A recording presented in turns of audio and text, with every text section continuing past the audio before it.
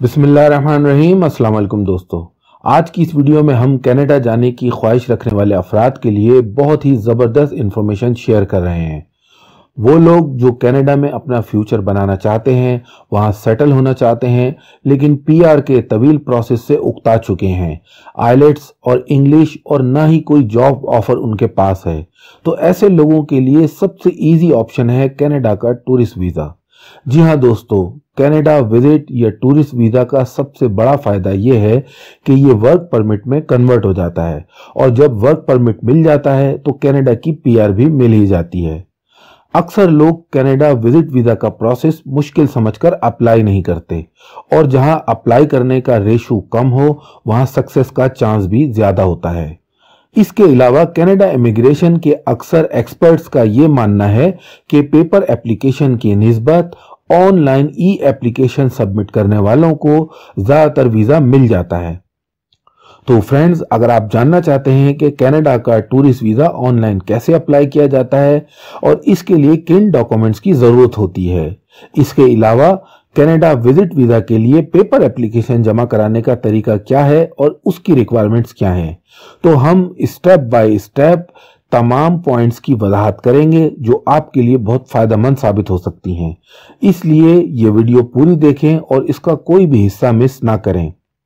दोस्तों कनाडा का tourist visit visa जो कि छह माह तक के लिए जारी होता है, इसे अप्लाई करने के दो तरीके हैं। यानी आप ऑनलाइन अप्लाई कर सकते हैं, या फिर पेपर एप्लीकेशन भी जमा करा सकते हैं। तो आइए हम जान लेते हैं कि कनाडा का वीज़ा ऑनलाइन अप्लाई करने का प्रोसेस क्या है और इसके लिए रिक्वायर्ड डॉक्यूमेंट्स क्या हैं। कनाडा ई एप्लीकेशन प्रोसेस सबसे पहले आपने कनाडा के इमिग्रेशन की ऑफिशियल वेबसाइट पर एक अकाउंट क्रिएट करना है। उसके बाद आपने जो एप्लीकेशन के स्टेप्स बताए गए हैं, उनको फॉलो करना है। फिर जो तमाम रिक्वायर्ड डॉक्यूमेंट्स हैं सपोर्टिंग डॉक्यूमेंट्स हैं, वो अपलोड करने होते हैं। उसके बाद वीज़ा फ़ीस जमा कराना होती है और बायोमेट्रिक की फ़ीस भी, ये सब ऑनलाइन अदा करना होती है। फिर वीएफएस सर्विस सेंटर से ऑनलाइन अपॉइंटमेंट बुक करना होता है। फिर मुकर तारीख पर वहाँ जाकर आपने अपने डॉक्यूमेंट्स और बायोमेट्रिक सबमिट करना होते हैं। उसके बाद फिर आप डिसीज़न यानी रिज़ल्ट्स का इंतज़ार करते हैं और ये रिज़ल्ट आपको ईमेल या फिर जो आपने प्रोफ़ाइल क्रिएट किया है वहाँ नोटिफाई कर दिया जाता है। तो आपने ये तमाम अपना जो ईमेल है और जो अपना प्रोफ़ाइल है उसको चेक करते रहना है। कनाडा वीज़ा के लिए ई एप्लीकेशन यानी ऑनलाइन अप्लाई करने के लिए जिन डॉक्यूमेंट्स की ज़रूरत होती है, वो नोट कर लें। ये तमाम डॉक्यूमेंट्स आपने स्कैन करके पीडीएफ जेपीजी या पीएनजी के फॉर्मेट में अपने कंप्यूटर में सेव रखने हैं और जो हमने आपको बताया कि आपने एक प्रोफ़ाइल क्रिएट करनी होगी, उस प्रोफ़ाइल में आपने अपलोड करने हैं। तो इसमें वीज़ा एप्लीकेशन फॉर्म, जो I M M five two five seven, ये फॉर्म आपने फिल करके दोबारा अपलोड करना है। उसके अलावा लास्ट टेन ईयर्स की आपकी ट्रैवल हिस्ट्री, जो भी आपके पासपोर्ट के यूज़ पेजेस हैं, वो आपने स्कैन करके अपलोड करने हैं। अगर कोई वैलिड वीज़ा आपके पास है तो उस वैलिड वीज़ा को भी स्कैन करके आप अपने कंप्यूटर में उसका इमेज सेव करें और अपलोड करना होगा। चार माह का आपको बैंक स्टेटमेंट चाहिए होगा, जो कि बिल्कुल फ्रेश हो। ये भी स्कैन करके आपने इसको अपने कंप्यूटर में रखना है। अगर आप एम्प्लॉय हैं कहीं तो आपको पे स्लिप एम्प्लॉयर की तरफ़ से लेटर और जो भी लीव वगैरह का अप्रूवल लेटर होता है, वो तमाम आपने स्कैन करके कंप्यूटर में रखने हैं। इसके अलावा अगर आपकी कोई प्रॉपर्टी या आपके एसेट्स हैं, जैसे दुकान, मकान या ज़मीन तो उसके डॉक्यूमेंट्स भी आपने स्कैन करके अपलोड करने होंगे। अगर आप बिज़नेस करते हैं तो आपके बिज़नेस से रिलेटेड रजिस्ट्रेशन वगैरह के जो भी डॉक्यूमेंट्स हैं, वो भी आपने साथ लगाने होंगे। अकोमोडेशन का प्रूफ यानी उसकी जो पेमेंट की स्लिप है, अगर आपने होटल या हॉस्टल कनाडा में बुक कराया है तो उसकी जो आपने इनिशियल पेमेंट की है, उसके रिसिट वो स्कैन करके वो भी अपलोड करना होगी। अगर टैक्स वगैरह अदा करते हैं तो इनकम टैक्स रिटर्न या इससे रिलेटेड जो भी डॉक्यूमेंट्स हैं, वो भी साथ लगाना होंगे। एक फ़ोटोग्राफ आपको चाहिए होगी जिसका size 35 five M M into forty ये वाइट बैकग्राउंड के साथ होने चाहिए। और ये आपने स्कैन जब करनी है अपने कंप्यूटर में रखने के लिए तो इसकी जो रेजोल्यूशन होगी वो 600 पिक्सल से कम ना हो। ट्रैवल अटेंड्री आपने साथ लगानी है जैसे आपने जहाँ जहाँ कनाडा में स्टे करना है, अगर आपने कुछ जगहें बुक कराई हैं या ट्रैवल प्लान किया है तो वो उसके अलावा आपकी जो होटल बुकिंग है, उसका भी आपने प्रूफ लगाना होगा। फैमिली इंफॉर्मेशन का एक फॉर्म है, जो कि five six four five number का फॉर्म है। यह आपको आपकी प्रोफ़ाइल में ही मिल जाएगा, वहाँ से आपने इसको डाउनलोड करना है, उसको फिलअप करना है और फिर दोबारा अपलोड करना है। ये तमाम डॉक्यूमेंट्स आपने अपनी ऑनलाइन प्रोफ़ाइल में अपलोड करने हैं और उसके बाद इसकी वीज़ा फ़ीस अदा करनी है। वीज़ा फ़ीस 100 कैनेडियन डॉलर है। उसके अलावा बायोमेट्रिक्स की फ़ीस वो 85 कैनेडियन डॉलर है। तो ये कुल मिला के तकरीबन 185 कैनेडियन डॉलर बनते हैं, जो कि आपने ऑनलाइन ही अदा करने हैं। दोस्तों, ई एप्लीकेशन का प्रोसेस थोड़ा ट्रिकी है, लेकिन ये मुश्किल बिल्कुल नहीं। इसलिए आप बहुत ध्यान से इस प्रोसेस को देखें, समझें और तमाम अहम पॉइंट्स नोट करते जाएँ। तो सबसे पहले आपने कनाडा इमिग्रेशन की ऑफिशियल वेबसाइट पर आकर एक फ्री अकाउंट क्रिएट करना है। इसे जीसी की भी कहते हैं। इस पेज पर नीचे की तरफ़ रजिस्टर्ड का बटन है। इस पर क्लिक करें। एक नया पेज आपके सामने ओपन होगा। यहाँ रजिस्टर्ड विद जीसी की का बटन है। इस पर क्लिक करें। अब इस पेज पर आकर राइट साइड पर आपने साइन अप के टैब पर क्लिक करना है। अगले पेज पर यह टर्म्स एंड कंडीशंस दी गई हैं। इन्हें अच्छी तरह रीड कर लें और उसके बाद आई एक्सेप्ट के बटन पर क्लिक करें। अब आपने अपना यूज़र नेम और पासवर्ड क्रिएट करना है। और यह करने के बाद आपने फिर कंटिन्यू पर क्लिक कर देना है। इसके बाद आपने रिकवरी क्वेश्चंस के कुछ आंसर्स देने हैं। याद रखें कि पासवर्ड भूल जाने की सूरत में इन्हीं क्वेश्चंस और आंसर्स की मदद से आप अपना अकाउंट रिकवर कर सकते हैं। इसलिए आप यहाँ जो भी जवाब तहरीर करें, उन्हें कहीं नोट कर लें। ताकि बाद में आप उन्हें याद रख सकें। जवाबात लिखने के बाद फिर आप कंटिन्यू पर क्लिक करें। अब आपका जीसी की का प्रोसेस मुकम्मल हो चुका है। इसलिए एक बार फिर कंटिन्यू पर क्लिक करें। अब टर्म्स एंड कंडीशंस के पेज पर आई एक्सेप्ट के बटन पर क्लिक करें। फिर एक नया पेज आपके सामने ओपन हो जाएगा।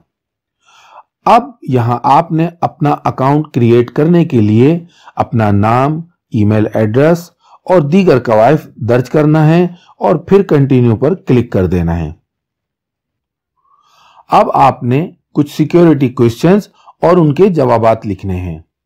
सबसे पहले आपने ये तमाम चीज़ें कहीं नोट कर लेना है, क्योंकि जब आप अपना अकाउंट लॉगिन करेंगे तो इन ही सिक्योरिटी क्वेश्चंस का जवाब आपने देना होगा, वरना आप अपने अकाउंट तक एक्सेस नहीं कर पाएँगे।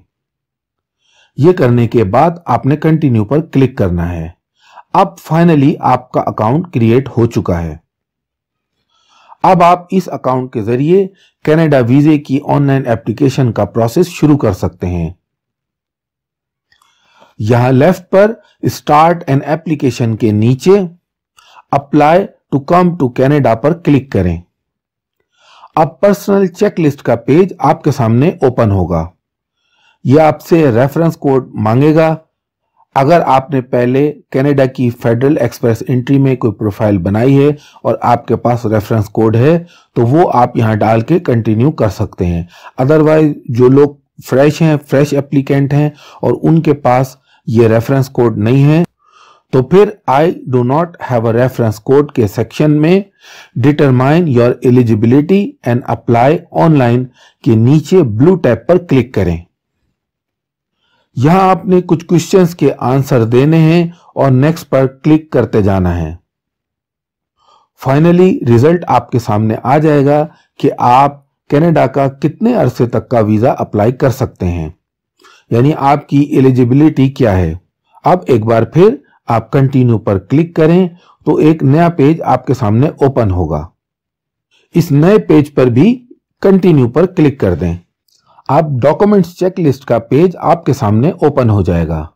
यहाँ आपने वो तमाम डॉक्यूमेंट्स अपलोड करने हैं, जिनकी तफसील हम पहले ही आपको बता चुके हैं।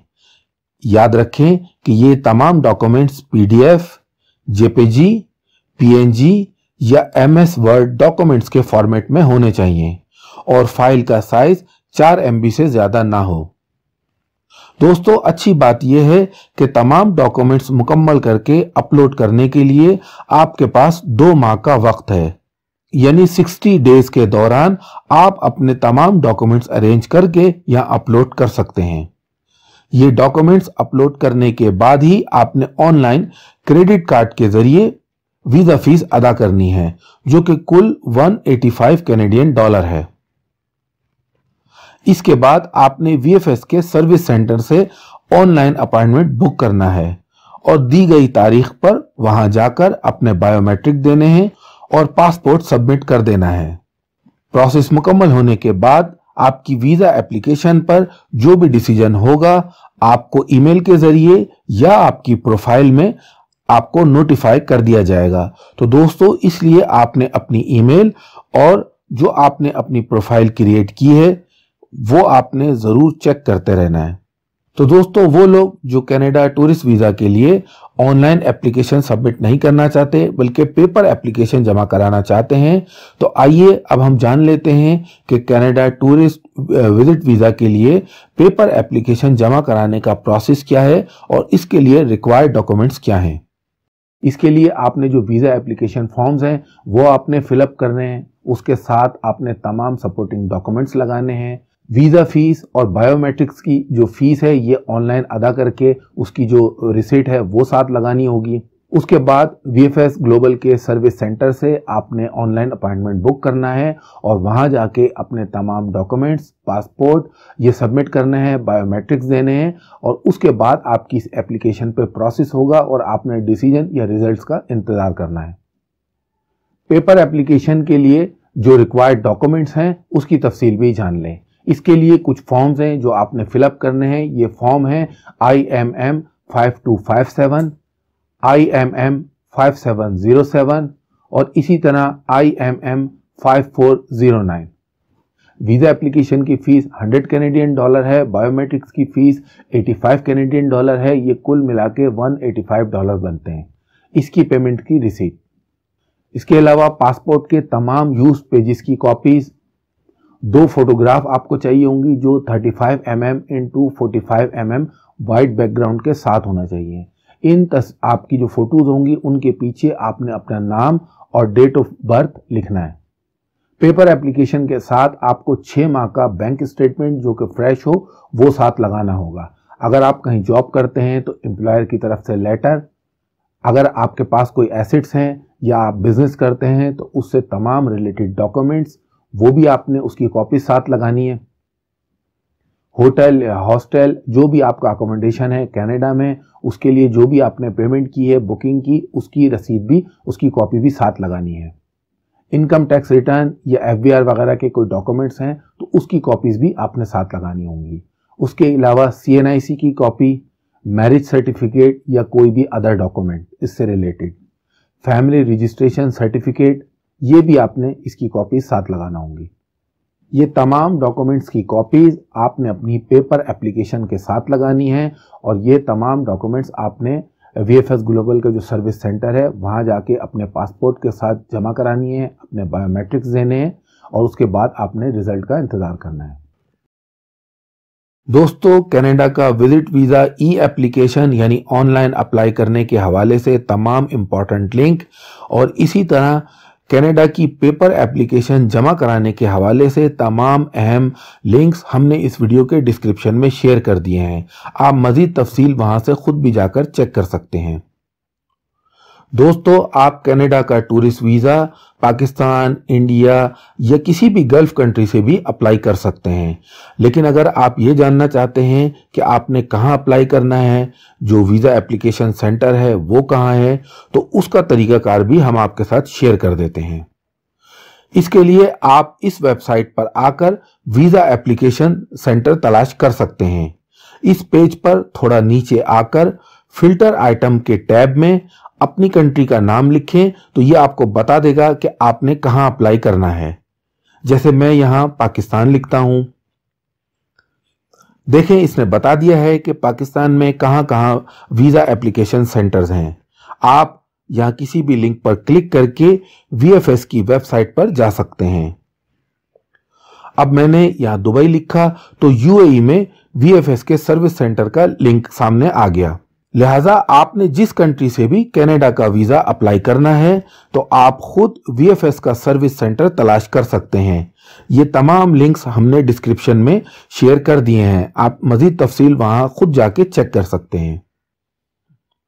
दोस्तों, वो लोग जिनका कनाडा में कोई ब्लड रिलेशन है या कोई फ्रेंड वगैरह है और वो उनको स्पॉन्सर कर देता है तो उनके लिए कनाडा का टूरिस्ट वीज़ा या विज़िट वीज़ा, वो वो मिलना बहुत ही ज़्यादा आसान होता है। लेकिन इसका ये मतलब हरगिज़ नहीं कि वो लोग जो सिर्फ़ और सिर्फ़ टूरिज़्म के लिए कनाडा जाना चाहते हैं, जिनका कोई वहाँ रेफरेंस मौजूद नहीं है, उन्हें टूरिस्ट वीज़ा नहीं मिल सकता। ऐसा नहीं है, बल्कि वो लोग जो प्रॉपर तरीके से अपनी तमाम डॉक्यूमेंटेशन करते हैं, तमाम रिक्वायरमेंट रिक्वायरमेंट्स को फॉलो करते हैं, उन्हें भी कनाडा का टूरिस्ट मिल टूरिस्ट वीज़ा मिल जाता है। तो इस हवाले से तमाम अहम पॉइंट्स हमने अपनी इस वीडियो में आपके साथ शेयर किए हैं। उम्मीद है कि आपने वो तमाम अहम पॉइंट्स नोट किए होंगे और वो आपकी कामयाबी में बहुत ज़्यादा अहम किरदार अदा कर सकते हैं। इसके अलावा फ्रेंड अगर फिर भी आपको पेपर एप्लीकेशन या ऑनलाइन अप्लाई करने में कोई दिक्कत है तो उसका एक और तरीका ये है कि कनेडा वीज़ा के लिए वी के जो सर्विस सेंटर एप्लीकेशन वसूल करते हैं, वही फॉर्म वगैरह फिलअप करने की सर्विस भी देते हैं। उसके लिए आप का जो भी वीएफएस का सर्विस सेंटर है, आप उनसे रबता कर सकते हैं। वो इसके लिए कुछ चार्जेस लेते हैं। तो तमाम आपकी डॉक्यूमेंटेशन वहाँ भी हो सकती है। तो दोस्तों, उम्मीद करते हैं ये वीडियो आपको अच्छी लगी होगी। कनाडा विज़िट वीज़ा के हवाले से जो भी हमने मालूम आपके साथ शेयर की, आपको पसंद आई होंगी। अगर आपका कोई सवाल है तो आप हमें कमेंट करके बताइए। अगर आप मज़ीद कोई तफसीत जानना चाहते हैं तो आप हमें ईमेल कीजिए। इस वीडियो को लाइक ज़रूर कीजिए। अपने दोस्तों दोस्तों के साथ शेयर कीजिए और हमारे चैनल पिक्स ट्यूब को सब्सक्राइब कीजिए। शुक्रिया।